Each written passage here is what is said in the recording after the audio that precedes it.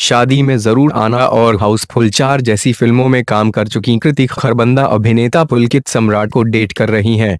इस बात की पुष्टि एक ट्रेस ने एक बातचीत के दौरान की। दरअसल, मीडिया में कई दिनों से दोनों के अफेयर की खबर आ रही थी, लेकिन किसी ने भी इसकी आधिकारिक पुष्टि नहीं की थी। अब एक इंटरव्यू में कृति ने रिश्ते की बात स्वीकार करते हुए कहा, यह अफवाह नहीं है। हम एक दूसरे को डेट कर रहे हैं।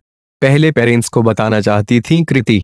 कृति ने आगे कहा, ईमानदारी से कहूँ तो सबसे पहले अपने पेरेंट्स को बताना चाहती थी कि मैं किसी को डेट कर रही हूँ।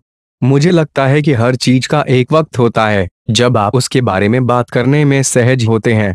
कभी कभी इसमें पाँच साल लग सकते हैं तो कभी पाँच महीने। हमारे मामले में पाँच महीने हुए हैं। लेकिन मैं बहुत खुश हूँ और यह स्वीकार करने में कोई हिचकिचाहट नहीं है कि मैं पुलकित सम्राट को डेट कर रही हूँ। इससे पहले एक एजेंसी से बातचीत में उन्होंने पुलकित को डेट करने के सवाल पर कहा था, हम एक दूसरे के साथ अच्छे दिखते हैं। हमारे बीच अच्छी के मिस्ट्री है। कोई भी यह अंदाज़ा लगा सकता है कि हम रिलेशनशिप में हैं। पुलकित मेरे लिए बहुत खास हैं और हमेशा रहेंगे। हालाँकि, उस वक्त उन्होंने अफेयर की बात खुलकर स्वीकार नहीं की थी। सलमान की राखी बहन से शादी कर चुके पुलकित कृति से पहले पुलकित का नाम यामी गौतम के साथ जुड़ चुका है। उससे भी पहले वे 2014 में सलमान खान की राखी बहन श्वेता रोहेरा से शादी कर चुके हैं, जो करीब एक साल चली थी। पुलकित और कृति पहली बार फ़िल्म वीरे की वेडिंग में साथ नज़र आए थे। अब वे पागलपंती में दिखाई देंगे, जो 22 नवंबर को रिलीज़ होगी।